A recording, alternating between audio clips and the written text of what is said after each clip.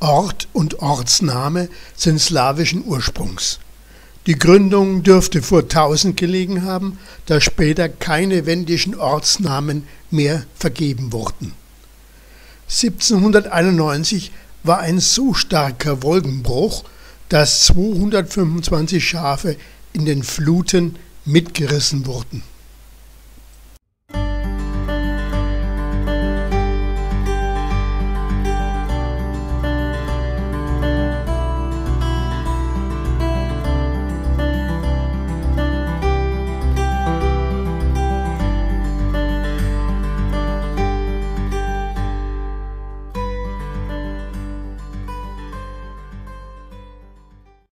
Uns begleiten die Endzeilen eines Gedichtes von Eduard Mörike.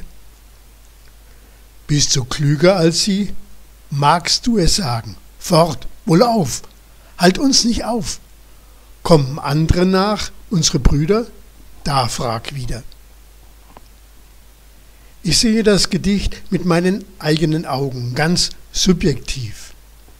Diese Zeilen klagen mich, diese Zeilen klagen dich an. Wir geben keine Antwort, keine wirkliche Antwort. Es lohnt sich nicht, uns zuzuhören. Fort, wohlauf, halt uns nicht auf. Hast du dir mal Gedanken gemacht, dass du eines Tages Rechenschaft geben musst?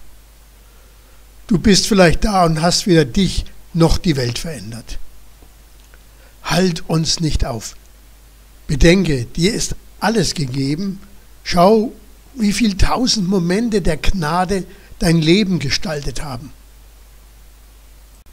Wie oft hast du aufgesehen zum Kreuz, gebetet und gehofft. Aber davon hast du nicht gesprochen.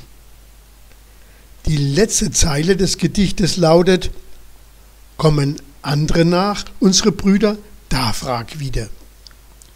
Die anderen werden es richten, die Jungen, die nach uns kommen, die haben dann auch die richtigen Worte. Kann stimmen, aber du hast die Jahre der Erfahrungen. Du hast das Wort Gottes gelesen, gebetet, gehofft, geliebt und auch gehandelt. Das macht dich klüger. Du hast wirklich etwas zu sagen. Tu es einfach. Noch ist die Zeit dafür. Sei ein fröhlicher Zeuge seiner Gnade, seiner Liebe, seiner Gerechtigkeit, seiner Kraft, seiner Herrlichkeit. Du magst es sagen.